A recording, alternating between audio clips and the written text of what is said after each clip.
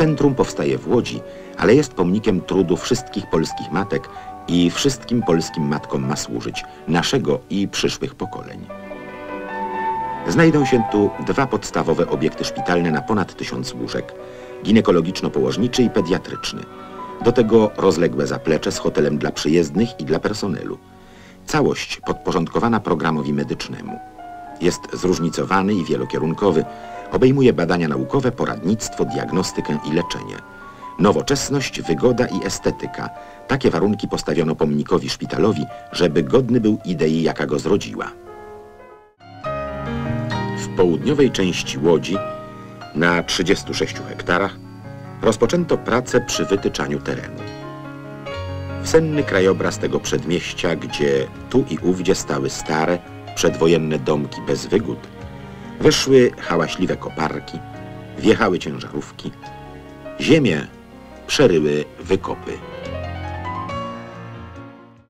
Płynęły też pierwsze dary z kraju i z zagranicy. Samochody, łóżka szpitalne, aparatura medyczna, materiały budowlane, obrazy.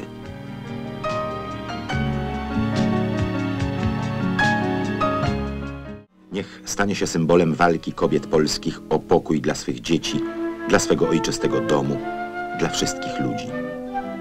Niech oznacza szczególny szacunek i uznanie dla pracy kobiet, robotnic fabrycznego miasta Łodzi. Niech ten szpital, wznoszony ofiarnością całego społeczeństwa, będzie pomocny wszystkim kobietom matkom. Niech stanie się ośrodkiem promieniującym w dziedzinie opieki zdrowotnej nad matką i dzieckiem. Budowie od początku towarzyszy duże tempo. Cykl realizacji określono na 4 lata. W takim czasie nikt na świecie nie zbudował podobnego szpitala. Zresztą nigdzie na świecie nie ma podobnego szpitala. Zadanie jest ogromne. Wszystko jest tu wielkie, także liczby. Cement, kruszywo, stal wtopione w ten obiekt zajęłyby 121 pociągów o 100-wagonowych składach. Trzeba położyć i zamontować 420 km przewodów elektrycznych i teletechnicznych, 80 km kabli, 250 km rur o różnych przekrojach, 30 tysięcy metrów kwadratowych terrakoty, 80 tysięcy metrów kwadratowych glazury.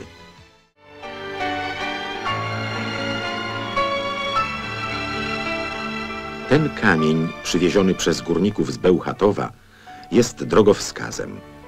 Wyznacza miejsce pomnika, który jako naród wystawiamy wszystkim noszącym jedno wspólne imię Matki Polki.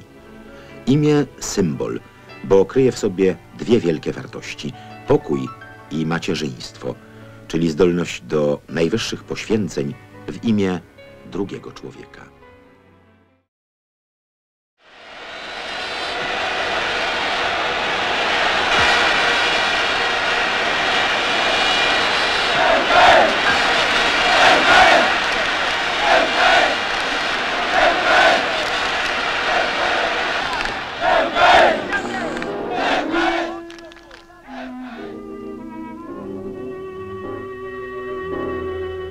Rok 1908.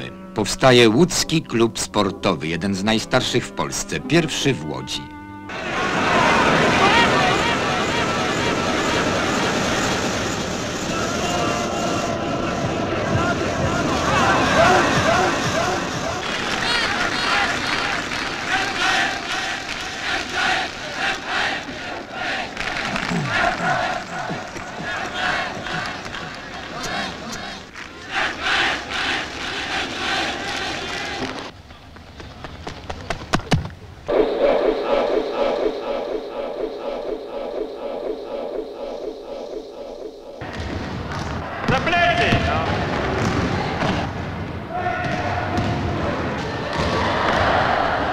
I każde ćwiczenie zrobimy cztery razy.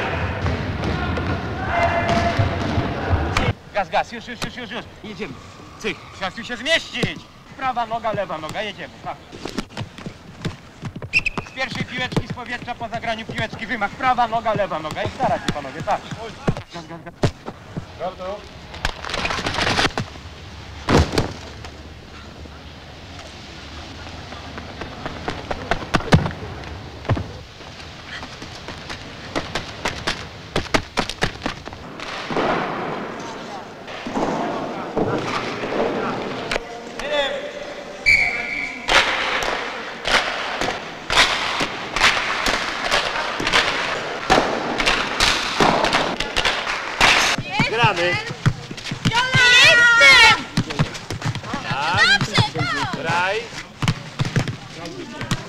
Mi Grafina te wszystkie.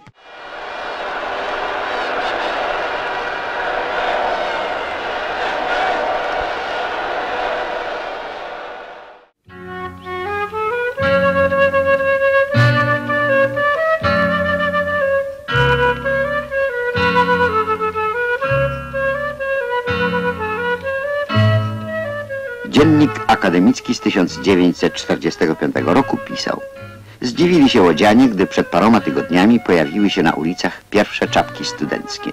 Zdziwili się, bo Łódź nie miała dotąd swego uniwersytetu.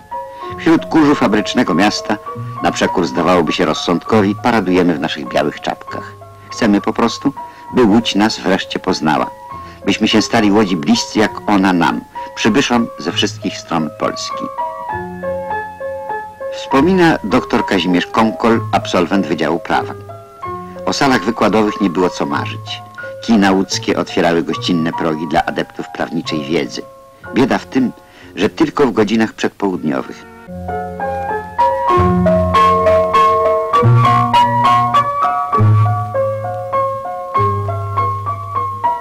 Mówi obecny rektor, profesor Zdzisław Skwarczyński. Aktualnie Uniwersytet Łódzki liczy 6 tysięcy studentów, 50% pochodzenia robotniczo-chłopskiego i co roku przybywa ponad 1500 osób. Ponadto na studiach zaocznych, wieczorowych i podyplomowych studiuje 4500 osób.